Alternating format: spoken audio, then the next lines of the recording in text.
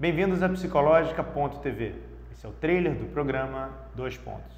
Relação Freud e Jung e psicologia junguiana são os dois pontos do episódio de hoje. E para falar sobre eles, o psicólogo clínico José Raimundo Gomes.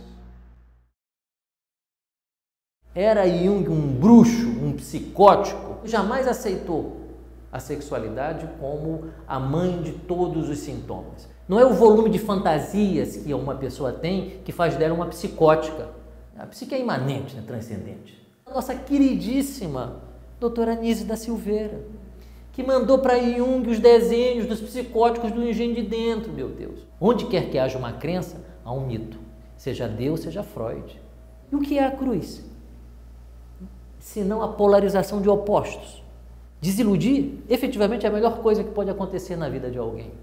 E se os psicanalistas descobrissem isso, deixavam de chamar de terapeutas, ou deveriam, por uma questão de justiça.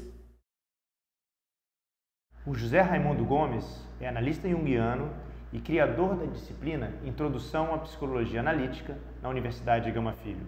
É também produtor dos documentários Jung e o Ocultismo e Leonardo Boff fala de Carl Jung. Para assistir esse episódio na íntegra, bem como a todos os outros, cadastre-se e torne-se membro da psicológica.tv. Continue assistindo. Dois pontos. Não são as neuroses que são curadas, são elas que nos curam.